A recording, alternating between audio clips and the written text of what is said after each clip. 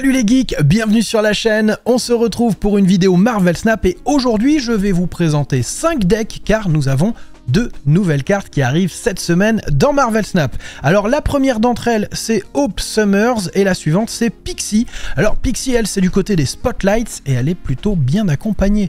Elle est avec Spider-Ham qui fait toujours son petit effet, excellente carte coup 1, et Mobus qui va de pair avec Pixie. C'est important de le souligner parce que si vous n'avez pas déjà Mobus, il faudra essayer d'aller le chercher si vous souhaitez jouer Pixie. Alors euh, bien sûr, je vous ai déjà donné un peu mon avis euh, sur les cartes du Season Pass. Je vous ai fait une vidéo réaction à la Developers Update. là, donc je vais pas revenir sur l'ensemble des cartes bien sûr dans cette vidéo. Je vais me concentrer sur Summers et Pixie et je vous donnerai un peu mon avis global sur ces deux-là en fin de vidéo. Mais regardez quand même un petit peu le programme pour le reste du mois avec Mockingbird accompagné de Miss Marvel et Man Thing, c'est du très très bon. Cannonball, Kitty Pride et Ghost Spider. Là, pour le coup, Kitty Pride avec la carte du mois, ça va être très sympa de, de la voir, celle-ci. Et War Machine, alors là, lui... Euh, lui, il va casser des decks. Il va être vraiment très sympa, accompagné de Silver Samurai et de Silk. Une nouvelle saison commence dans Marvel Snap et qui dit nouvelle saison dit bien évidemment nouveau Season Pass. Et vous avez de la chance car la vidéo du jour est sponsorisée par NordVPN et NordVPN peut vous permettre de réaliser de belles économies dans votre jeu préféré. Salutations, bande de geeks Bon, vous le savez déjà, je suis hyper balèze. Genre, le mois dernier, j'ai dévié une météorite à la force de mes bras. J'ai aidé une vieille dame à traverser la route à la force de mes bras. Et j'ai même réussi à tordre une barre de fer. C'est ouf, non? Mais je ne suis qu'un homme. Enfin qu'un surhomme et je ne peux pas être partout à la fois. C'est pour cela qu'aujourd'hui encore, je vous présente celui qui assurera votre protection au quotidien. Il s'agit de mon fidèle acolyte, NordVPN. Il est vraiment partout. Vous pourrez même le trouver dans un lien dans la description. Il est partout le gars, je vous le dis. Mais bien plus qu'un simple VPN, NordVPN vous apporte une véritable protection contre les logiciels malveillants, les trackers, les publicités il chiffre vos données et surveille le dark web pour vous en temps réel. Le dark web, c'est le mal. Là-bas, on peut croiser certains de mes pires adversaires, comme Dr DDoS, Fishing Boy Ransom Girl ou encore Captain Malware. Grâce à l'offre disponible avec mon lien, vous pouvez naviguer en toute sécurité. Perso, NordVPN, je l'ai ajouté direct à ma barre de tâches. Et croyez-moi, il fait le boulot. Je dirais même plus, il fait même le sale boulot. Je reçois des alertes avant que l'irréparable se produise. Mais il ne s'arrête pas là. Il protège aussi les mots de passe avec NordPass et on peut y accéder direct depuis tous nos appareils. Profitez de l'offre en description pour obtenir 4 mois gratuits et une réduction de ouf à chaque fois que vous posez une carte sur la zone où se trouve Hope Summers, eh bien vous allez pouvoir générer un point d'énergie supplémentaire. Donc là c'est facile à comprendre, la carte est bonne. Elle vous permettra euh, d'aller jouer des cartes un peu plus coûteuses un peu plus tôt. Euh, forcément, dans un jeu qui se joue sur 6 tours, vous le savez que ça peut faire une belle différence. Alors euh, côté variant, qu'est-ce qu'on a de beau sur celle-ci? Que des belles choses. J'aime beaucoup la Pandart.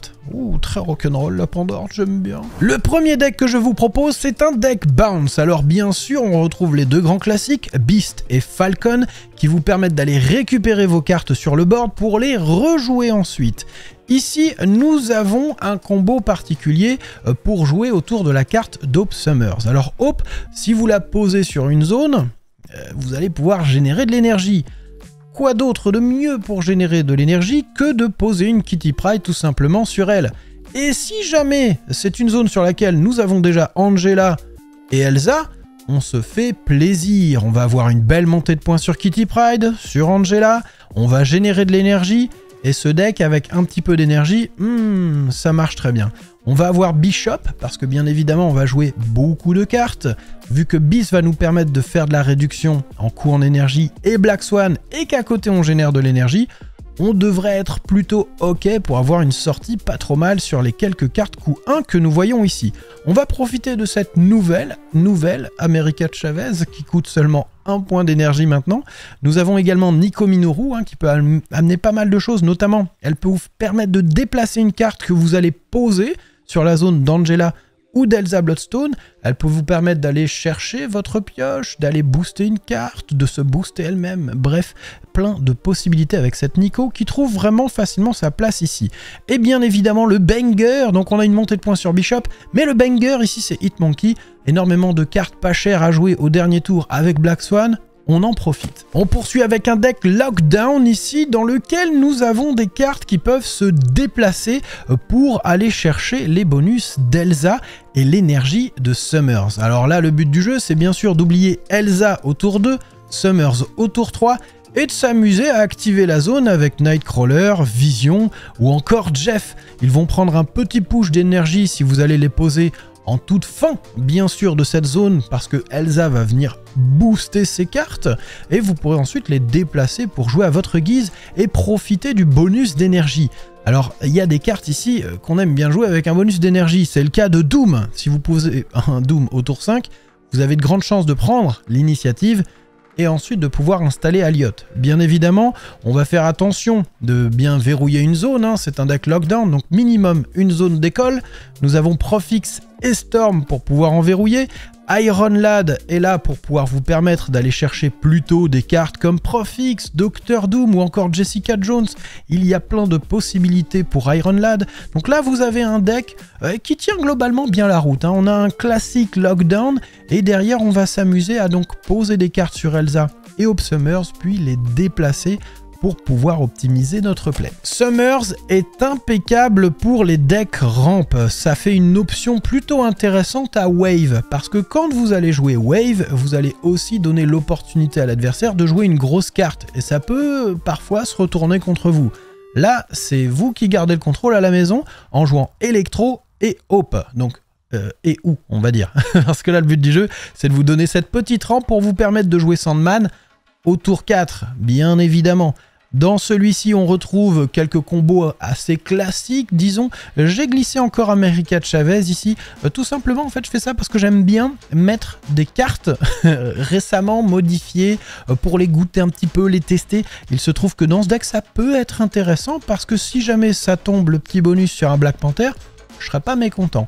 Donc là, nous avons ici Wong qui va vous permettre d'aller euh, flouder les zones avec des tigres blancs ou des panthères noires. Donc là, c'est à vous de voir euh, comment vous jouez sur votre Wong. Nous avons Arnim Zola ici, et qui est idéal hein, pour venir dupliquer ce Black Panther et le reproduire sur une autre zone. Et bien sûr, Odin pour faire ça de nouveau. Alors, euh, Odin, je l'aime beaucoup, moi, sur Arnim Zola, qui vient détruire Odin qui le duplique sur les deux zones où on a déjà envoyé Black Panther. Et ça, c'est possible grâce justement à la rampe. Donc si vous avez un tour qui s'éternise, vous pouvez éventuellement rajouter une magic dedans si vous voulez aller chercher le combo complet. Mais il y a plein de choses intéressantes. Iron Lad est là pour vous aider à aller chercher ces plays là encore un peu plus tôt. Je l'aime bien ce deck, j'ai hâte de le tester. Le dernier deck que je vous propose ici pour Hope Summer, c'est un deck Galactus. Bah ouais, une rampe aussi facile que ça à poser, c'est idéal pour jouer un beau Galactus, bien sûr.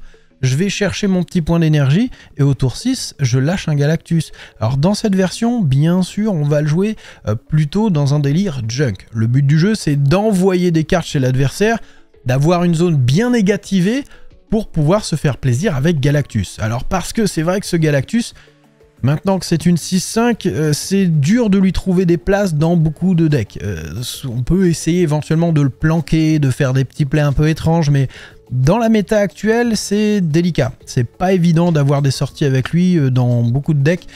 donc il se trouve que le junk marche très bien avec lui. Avec Selene, ça vous permet d'envoyer des missiles chez l'adversaire. Donc vous pouvez rajouter, grâce à Selene, hein, des, points négatifs sur le Green Goblin ou le Hobgoblin, ça c'est plutôt pas mal, ça peut également se faire sur le Hood, donc pas mal de choses intéressantes avec elle justement pour aller euh, chercher cet écart de points avec Galactus. Et ce qui est intéressant ici, c'est que vous pouvez facilement jouer sur le jeu de l'initiative. Ce deck aime Aliot, vraiment. Vous pouvez aller rapidement chercher l'ini, bloquer votre adversaire, et ça peut être un win assez rapide pour vous si l'adversaire n'a pas de quoi vous contrer. Et il faut admettre que bah, ce deck se comporte très très bien sur le ladder et même dans la méta dans le mode conquête. Je vous ai dit que je vous proposais 5 decks dans cette vidéo. Eh bien le dernier c'est pour Pixie. J'en ai pas fait des masses pour elle parce qu'il y a le côté euh, RNG qui me dérange un peu. Euh, là, on est euh, sur une RNG qui va au-delà du réel. On est sur une RNG d'un niveau de menace oméga. Petite mais costaud. Elle ne coûte que 2 points d'énergie et elle va vous permettre d'aller mélanger le coût des cartes dans votre deck. Toutes non Pas les cartes qui n'ont pas commencé dans votre deck, seulement celles qui ont commencé dans votre deck. Donc Exit Thanos, le District X, tout ça, ça ne marchera pas. Alors cette Pixie, il va falloir un peu contrôler ses ardeurs parce que euh, oui, ça va piquer. On va regarder un petit peu ses variants. Euh, qu'est-ce qu'elle a de beau, magnifique euh, Encore un Pandart aussi, tiens pour elle également. Eh ben, c'est très beau. J'aime bien. De toute façon, Pixie, on l'aime bien de base. ah bah oui, Pixie, les X-Men, ça marche. Le deck que je vous propose avec Pixie, c'est un deck avec les Asgardiens. La carte majeure du deck, c'est Mobius. Mobius est quasi obligatoire pour bien jouer Pixie. On explique. Le but du jeu, c'est de mettre des cartes qui coûtent pas cher, comme Wasp et Yellow Jacket, et des cartes qui coûtent cher et qui peuvent rapporter gros, comme Infinote, Giganto ou encore Blob. Une fois que j'aurai joué Pixie, il se peut que Wasp donne son coup en énergie à Giganto, et qui coûtera donc 0, et Giganto va donner son coup en énergie à Wasp, qui coûtera donc 6. Cependant, si j'ai Mobius sur le board, Mobius va dire non, non, non, votre coup ne peut pas être augmenté. bah, eh oh. Ce qui vous permet de faire du damage control. Vous allez pouvoir maîtriser la pleine puissance de Pixie. C'est-à-dire que les cartes trop chères, elles pourront réduire, et les cartes qui sont déjà pas chères, elles vont rester au même prix. Et c'est pour ça que ce Mobus va être très important, ça va être la guerre des Mobus avec euh, la guerre des Pixies quoi.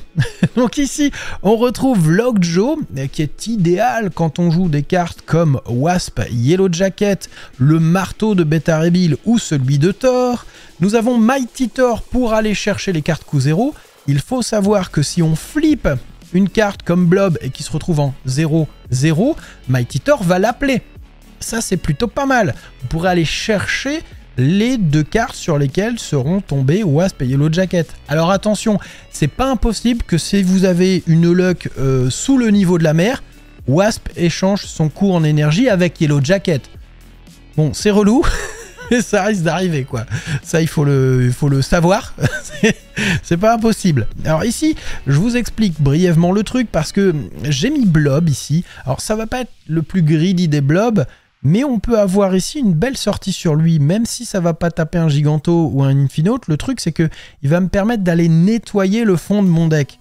Parce que vu qu'on va se rajouter des cartes avec Lockjaw, on va balancer des marteaux, en générer ça et là, bah, ça va me permettre d'aller quand même malgré tout bousiller ces cartes si elles restent dans le fond de mon deck et d'aller prendre les quelques points en plus. Donc l'idée ici avec Blob, c'est simplement d'aller nettoyer le deck.